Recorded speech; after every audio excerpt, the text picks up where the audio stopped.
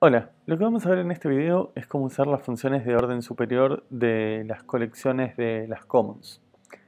Eh, las funciones de orden superior, si hacemos un poco de memoria, son esas funciones que reciben otras funciones como parámetros. En el caso de las commons, eh, las colecciones como las listas y los otros tipos de colecciones también, tienen definidas algunas funciones eh, que reciben no solo la lista como parámetro, sino que también otra función para operar sobre ellas. En este caso podemos ver acá uh, list filter, pero ahora vamos a ver que hay algunas otras más.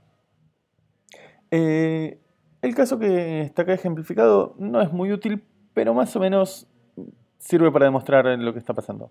En mi archivo main.c tengo un proyecto muy sencillo con un main medio simple que llama una función crear lista, que ahora vamos a ver cómo está definida, crea una lista, muestra todos los elementos que tiene y después solo muestra los elementos largos, libera la lista y termina el programa. como ven, acá uso esta auxiliares.h que tiene definidas un par de funcioncitas que me creé en mi auxiliares.c. Crear lista mm, no tiene mucha magia, creo una lista, le agrega cuatro elementos, los textos 1, 2, 3 y 4 y devuelve esa lista. Eh, mostrar elementos, itera la lista y acá tenemos otra función de orden superior. Fíjense que esto itera la lista y le pasa la función mostrar elemento para mostrar uno por uno, imprimir por pantalla eh, los elementos que componen esta lista. Y por último tenemos liberar lista, que es otra función de orden superior. Eh, perdón, que liberar lista usa list destroy and destroy elements, que es otra, otra función de orden superior que recibe la lista y la función con la que liberar cada uno de los elementos que la componen. Entonces, mm, repasando más o menos rápido, creo la lista, para crear la lista creo la estructura vacía y le agrego eh, los strings estos duplicados para, para, que puedan sobrevivir en memoria. Em, después muestro todos los elementos de la lista, es decir, itero la colección llamando a la función esta mostrar elemento, que habíamos visto que imprime uno por uno los elementos de la lista. Y por último llamo a esta mostrar elementos largo, que ahora la miramos más en detalle. Y finalmente sí, libero la lista, destruyendo cada uno de los elementos, o sea, liberando todos los strings que había reservado acá con el string duplicate. Y finaliza mi programa. Un caso que no, es muy útil, no hace nada demasiado complejo, pero va a servir para ilustrar el caso. Miremos esta función mostrar elementos largos que tengo definida acá. Mostrar elementos largos es una función que, viene a jugar de eh, cualquiera de las muchas funciones que van a probablemente van a tener que usar en el TP.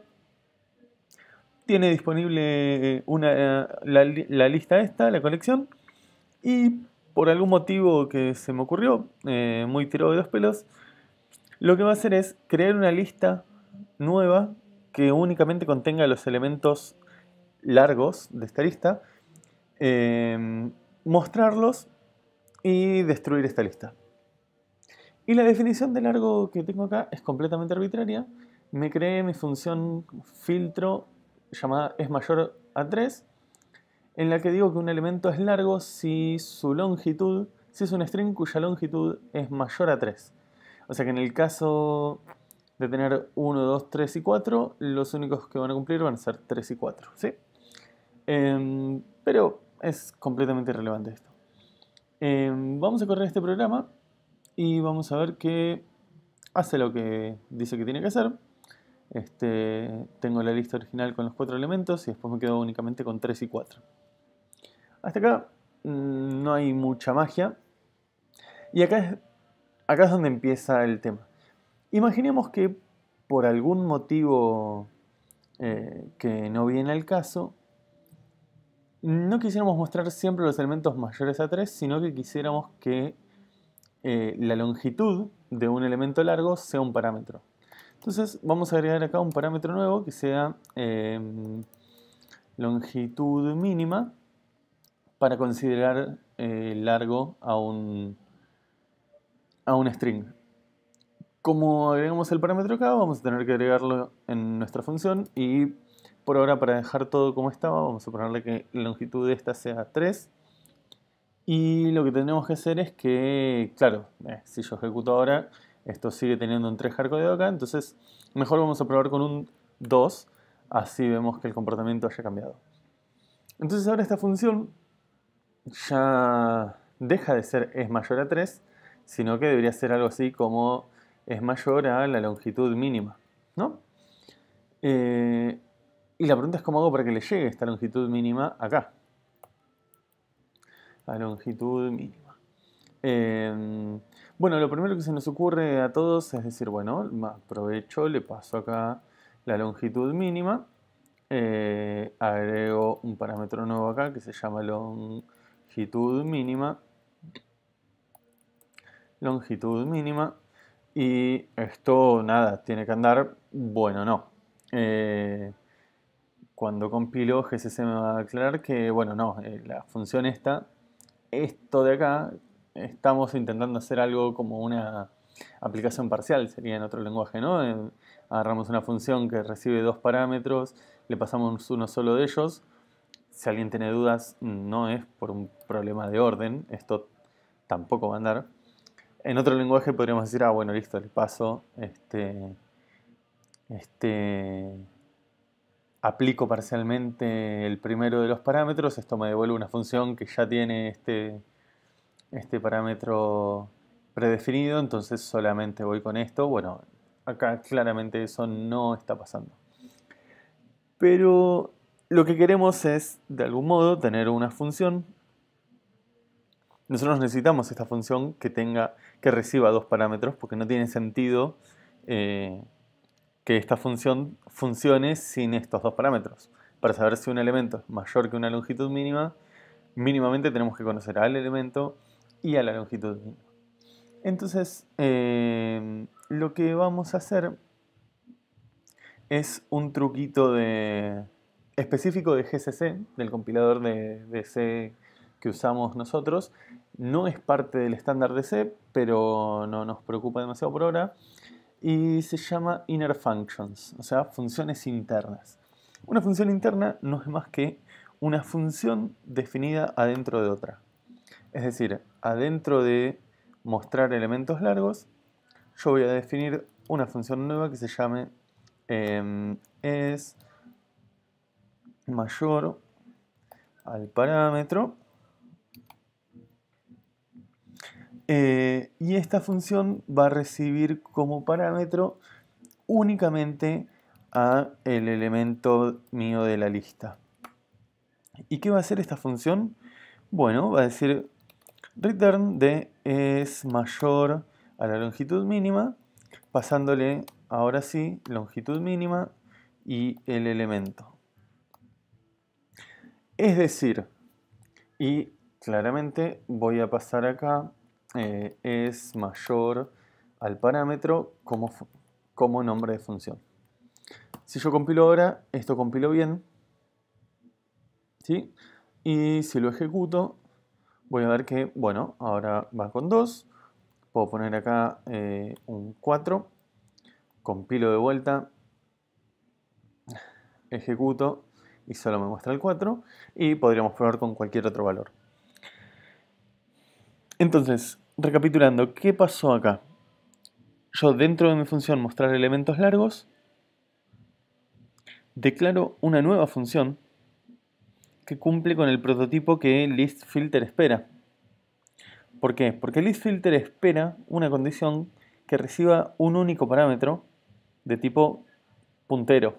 ¿sí?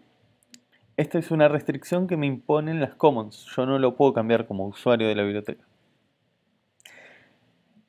Y entonces lo que tengo que hacer es creo esta función que con el prototipo que, ListFilter eh, espera pero esta función, al estar definida adentro de mi otra función, tiene visibilidad de los parámetros y de las variables de esta función que existan al momento de ser declarados. Es decir, si yo acá declarara, por ejemplo, un char asterisco alguna cosa con un valor raro, acá adentro también es válido hacer referencia a, em, a esta variable alguna cosa. Eh, lo que no es legal es definir otra cosa más. Y desde acá adentro hacer, eh, hacer referencia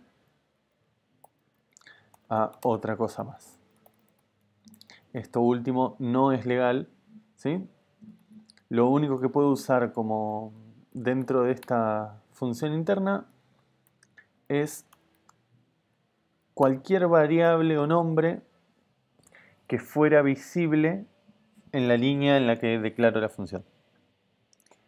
Eh, entonces declaro esta función que tiene el prototipo que, requiere mi función de orden superior y dentro de esto, como tengo visibilidad del parámetro, bueno, ahora sí puedo llamar a esta función con dos parámetros o tranquilamente podría alinear esto y decir, bueno, directamente em, meto esto acá y devuelvo directamente si el elemento es mayor a la longitud mínima y no declaro dos veces la, función auxiliar, eso ya va en cada uno, ¿sí?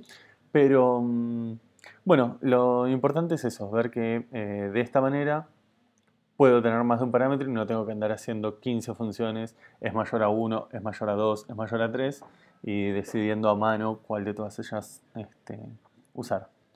Eh, una vez más, no es lo más importante que se tiene que llevar de este video, pero sí recordar que esto no es parte del estándar de C, es una extensión que hace GCC, uno de los compiladores de, C que existen.